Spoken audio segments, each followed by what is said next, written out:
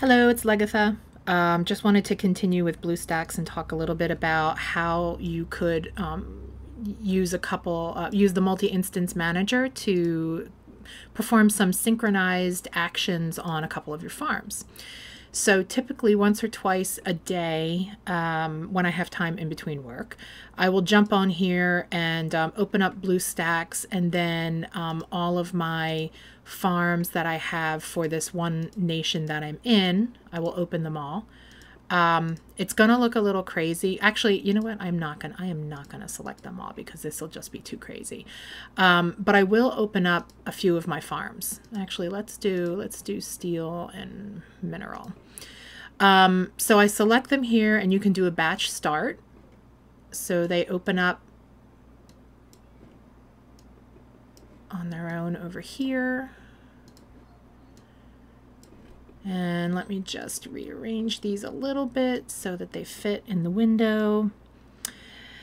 And um, there is an automatic sort of arrangement that you can do um, to just make it fit to your screen, all of the instances. And I'll, I'll show that in a minute. But just to get to the good stuff here on how to run synchronized stuff on um, multiple instances that you have open. So I think the, the smartest thing to do is to start with like which instance do you want to be open. Um, it's certainly, I mean, it's easier, but you just have to be vigilant about what's happening in each of your cities. If you have farms that are at different levels of experience, you're not always going to have the same items to do at the same time, but there is kind of a way around it. So what I'm going to show um, is actually, I'll just do these two farms because I haven't been in them for several hours, so they should have a lot together that I can do. Um, so let me just open these.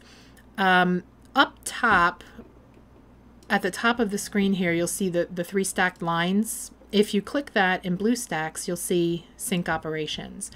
And wherever you initiate this from, this will be like the controlling screen. And whatever you do on this screen, you'll start seeing it on sort of the child screen.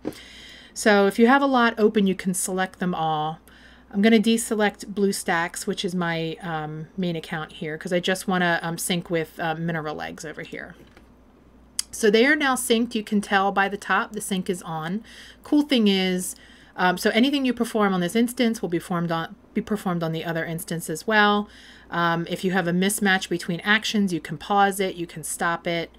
Um, but normally what I do is the first thing I do, of course, is you go to the Alliance tab, you contribute because that is the lifeblood of any of alliance, any alliance.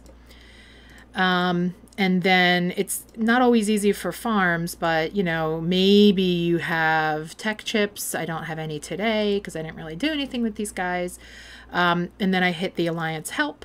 So it just helps everybody all at once. Um, I have also done challenge the elite zombie here. You can do it, you know, very easily and very quickly um, with the sync. And then um, I'll hit, I'll hit Lucy.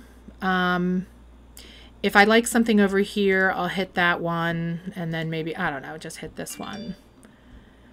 So you can work in the child one without impacting the parent, but anything you do in the parent will impact the child. Um, you can also scroll together. The, the one thing that they don't do in BlueStacks, which I think I'm going to give them feedback, their customer support's pretty awesome, is that um, in order to for me for, to automatically collect all this stuff, you have to shake the phone. And this is the button that shakes the phone for this emulator, but it doesn't get picked up by this uh, the synchronizing piece. So that is the one thing that I have to do manually on all the farms, which kind of stinks.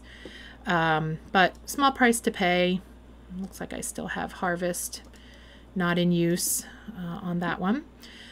Um, and um, everything, I, what I have found is uh, it, it's especially hard across a couple of different farms to just figure out who you should, um, like who you need to pick up and, and all that stuff. But the little menu that's here actually is really great for the synchronizing, um, like synchronizing between the two. So between four or six farms, I can just easily go quickly in and see like who do I want to, um, well, they're already, they're already doing it. Oh, I don't have anyone open. Um, who I want to recruit. So I can just change to who I want. I can hit recruit. It does kind of mess things up on this side, but it's pretty easy to get them back into sync. Um, I can help all my allies. Um, the other thing, like, there's nothing that you can't do um, as long as you're as long as you have the same on each side. Um, the other thing that I often do is um, zombies. I'll, I'll hit at least, you know, 8 to 10 zombies this way. Um, you know, you just go to 13 and 23, so I'll just go up to 12 here. And you just hit go. You find a zombie on both sides. You just set everybody out. I don't know why that one's not working. Oh, I don't have any, everybody's gathering, so can't do zombies on that one. Um, but yeah, I mean, you can basically synchronize uh, pretty much everything. Um, I have also used this to synchronize in um, Uprising, Zombies Uprising, which was pretty fun. I did that last week, and it, it certainly helped out our, our academy. Um, but yeah, so that's just a, a, short and quick way to uh, get through synchronization, and let me know if you guys have any questions. See ya.